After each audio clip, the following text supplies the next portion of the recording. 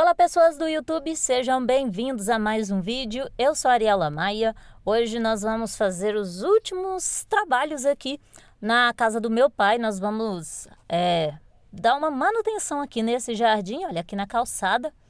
É, até bonito, foi feito meio que aleatório, mas tá bonito, apesar de precisar de manutenção, olha. Tem aqui várias agaves atenuata, tem é, lança de São Jorge, tem um jasmim manga, é, tem uma agave, essa daqui é a agave imperial. Olha que linda que tá. Gente, muito bonita. É uma agave muito majestosa, tem mais uma atenuata ali, ó. São muitas atenuatas, olha, bastante.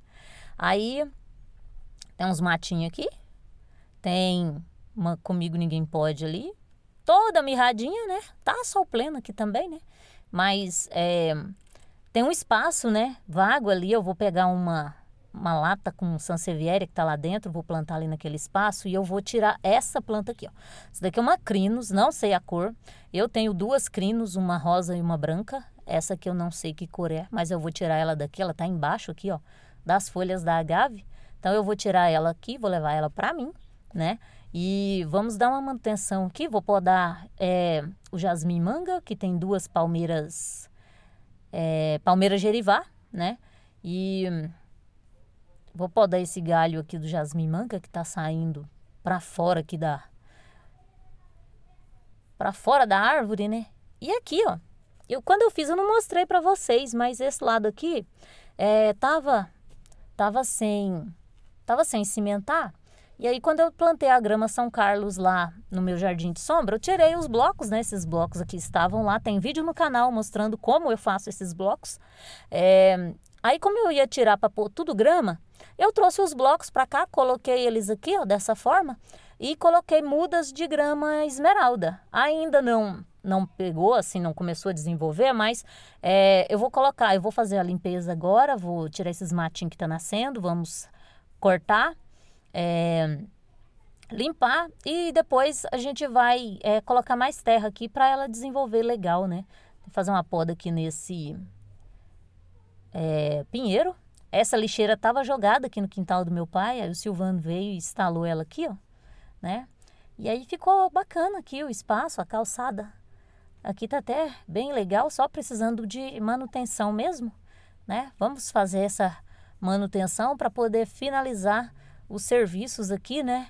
A limpeza, vai ficar tudo nos trinques, vai ficar bem legal. Me acompanha aí.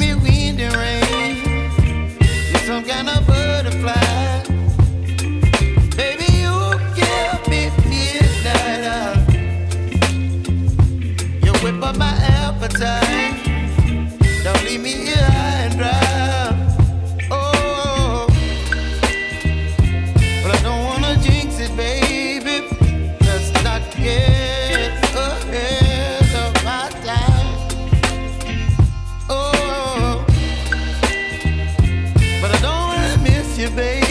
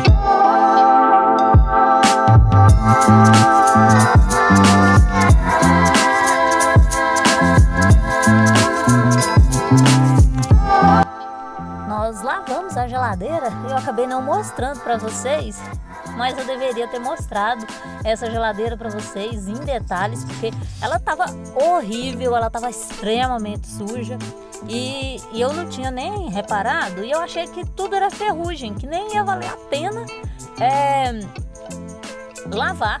Mas aí decidimos lavar essa geladeira e olha aí a surpresa, gente. Nem era ferrugem, era pura sujeira mesmo, ó ela tá com. É só na parte de baixo mesmo que ela tá mais estragadinha, mas isso aqui tudo tava tão sujo que parecia que era ferrugem. E não é. Então, a frente dela aqui, ó. Não tá muito bonita, não, mas a gente lavou, deu para ver agora o que, que é, é, o que, que era sujeira, o que, que era ferrugem, né? É, mas olhando assim, ó, eu acho que vai valer a pena restaurar. É, tirar essas partes aqui, ó, dos puxadores, que tá quebrado. Tá bem estragado aqui nessa parte, ó. Aí eu acho que lixar, passar uma massa plástica aqui, ó, e lixar novamente e envelopar, essa geladeira ainda quebra um galho aí, né? Vamos ver, né? Por enquanto ela vai ficar aqui, depois a gente vai vou levar ela lá pro apartamento, aí vou vou envelopar ela, porque eu acho que vale a pena. Ela gela super bem, né? E depois que a gente lavou, a gente viu que não estava tão ruim assim. Então, eu acho que vai valer a pena restaurar. A parte de baixo dela está bem estragada, mas dá para dá para consertar e colocar para funcionar, né? Assim, colocar para usar, porque funcionar, ela funciona, ela gela bastante, né? Funciona muito bem aí. E faz uma falta danada. Quem me acompanha aí lembra, né? Minha geladeira queimou. É, tempos atrás a gente ficou três meses sem geladeira. Aí eu ganhei uma geladeira usada de uma pessoa muito especial, mas foi, nossa, foi um ótimo ganhado, né? Faz uma falta danada. Vou plantar umas mudas que estavam lá no terraço. É, tinha duas mudinhas de cajá. Cajá não, em um vaso só. Então eu dividi, vou colocar essas mudas aqui. Vou plantar ali um pé de é, amora gigante também, que é muda do meu pé de amora. Vou plantar ali perto da janela da sala, que é para fazer sombra na janela, porque a janela da sala bate o sol da tarde. E o sol aqui de Goiás é muito quente. Então, é, vou botar uma muda de amora lá na, na frente da janela. Vai dar uma amenizada aí no, no sol.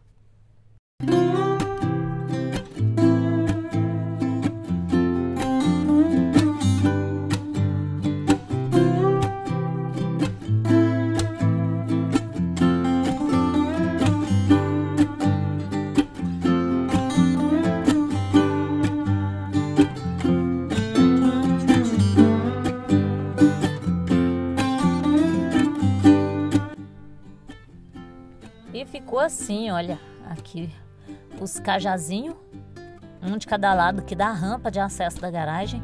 Coloquei lá o cajá, aliás, a amora, né? A amora gigante ali, ó, na frente da janela. Aquele tronco ali era um pé de manga.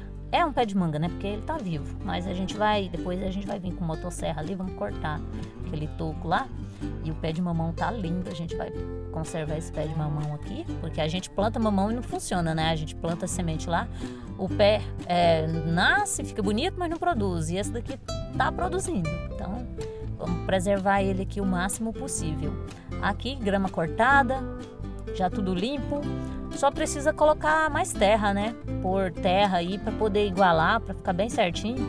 Agora, é, outono, a grama não vai crescer, não vai desenvolver, mas eu vou, de acordo a gente for cavando lá a nossa piscina, eu vou trazendo a terra, vou colocando aqui para dar uma igualada aqui para quando chegar a primavera, né, já tá tudo bonitinho, a grama poder crescer já bem certinho.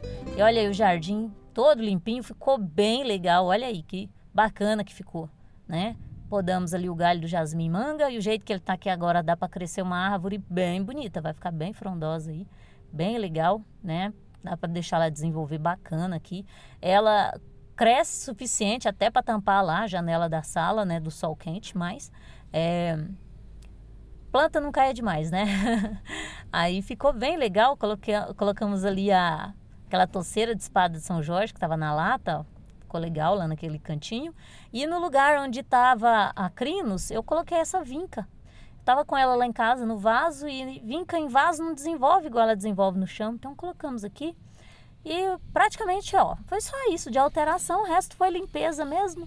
Mas já deu uma mudada aí, já melhorou bastante, já tá com cara assim de que tem gente cuidando, né? Já tá bem legal. Tá bem bonitinho aqui esse jardim. É, escrevi ali, ó, né? O vende-se, né? Porque agora já está tudo concluído, já pronto para colocar no mercado. Então, os interessados me chamam aí no WhatsApp, bora negociar. Valor de venda 150 mil. Estou considerando apenas o valor do terreno, tendo em vista que a casa tem muita coisa para fazer, mas quem tiver interesse aí, entre em contato comigo, bora negociar. É, Estamos aqui para vender. Então, se gostou do vídeo, deixa aí o seu like. Se não é inscrito, inscreve-se no canal, ative o sininho para receber as notificações dos próximos vídeos. Lembrando que todos os dias às 18 horas tem vídeo novo no canal e eu espero sempre contar com a sua presença. Se você quiser ser um patrocinador do nosso trabalho, clique no Valeu e faça a sua contribuição. Lembrando que amanhã tem o vídeo do tour aqui, o vídeo oficial de venda apresentando a casa para vocês em todos os detalhes. Não perca o vídeo de amanhã, então já ativa o sininho aí se você ainda não tem o sininho ativado, se você ainda não é inscrito, já se inscreve aí para poder acompanhar todos os vídeos. Música